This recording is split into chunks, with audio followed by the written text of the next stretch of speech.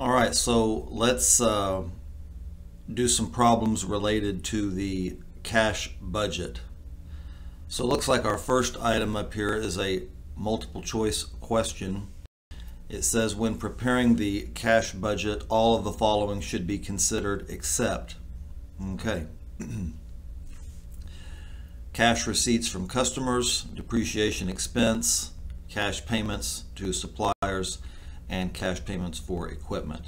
Well, this is about the easiest question that you're ever going to find.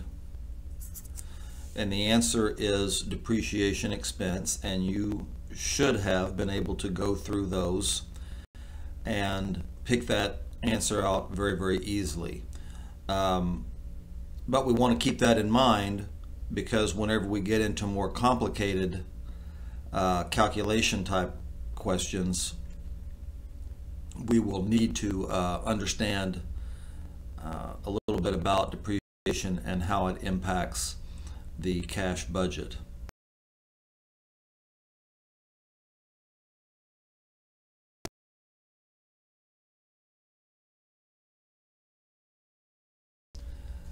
They sell the uh, Simple Life and Fancy Life.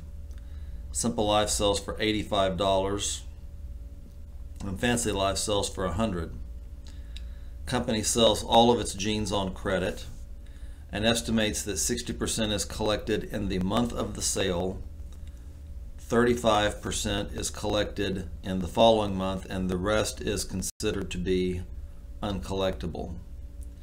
The estimated sales for uh, Simple, I guess Simple Life jeans are uh, January 20,000 pairs, February 27,500 pairs, and March 25,000 pairs of jeans. The estimated sales for February are uh, 18,000.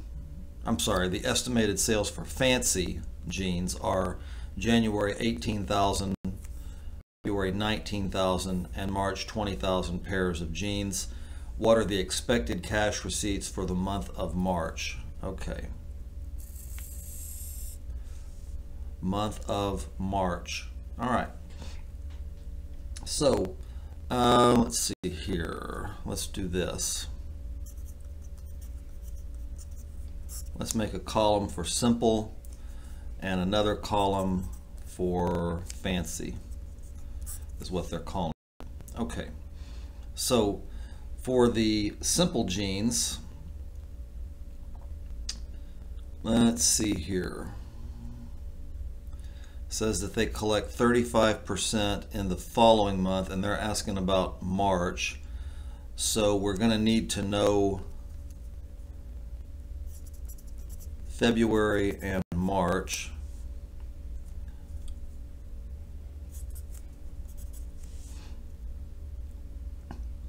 All right, so let's see here. Uh, let's see here. Simple 27,500 pairs of jeans. And what we're going to need to to figure out cash, uh, don't look, doesn't look like we have any sales discounts, is we need to know what the price per jean or per pair of jeans is.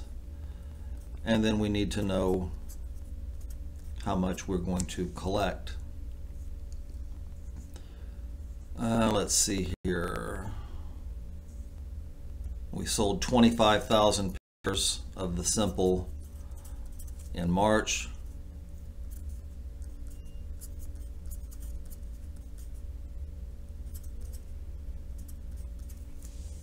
Okay, so in February we sold 27,000 500 pairs, uh, but we're going to actually, and we sold them for $85 a piece on credit. We're going to collect 35% of that in the month of March. So these are this is for February sales.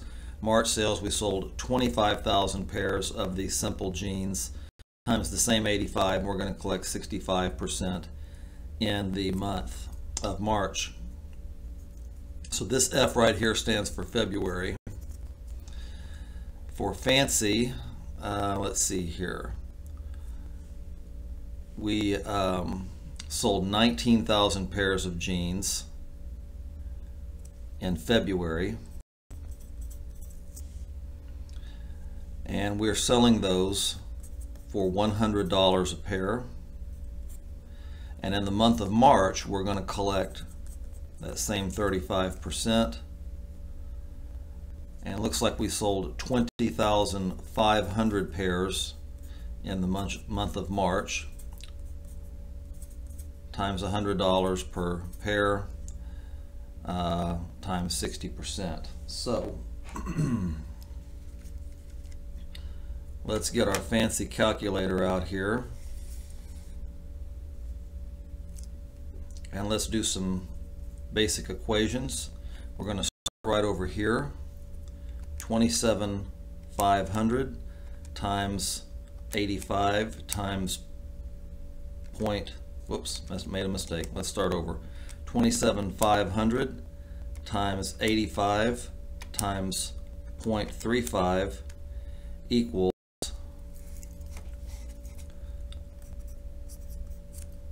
eight one eight one two five Okay, and then let's do our simple. We sold 25,000 pairs in March times 85 times 0.6. And that looks like, what is that? 1275000.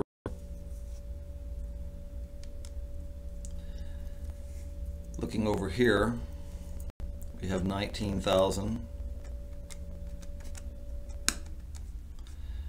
uh, pairs of the fancy jeans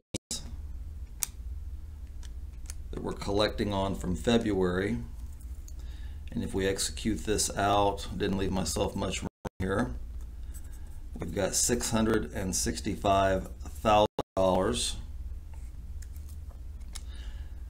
And then March we sold 20,500 times $100 a pair times 0.6 equals uh, 1 2 3 0 1,230,000 okay so I'm just gonna I'm gonna leave that number on my calculator and then I'm gonna add the 665,000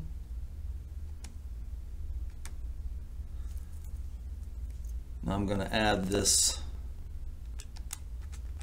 1.275 million and then this 818,125 so if we take all four of these figures we should come up with 3,988,125 dollars Okay, this video is getting a little bit long, so let's go ahead and stop that and we'll come back do another one.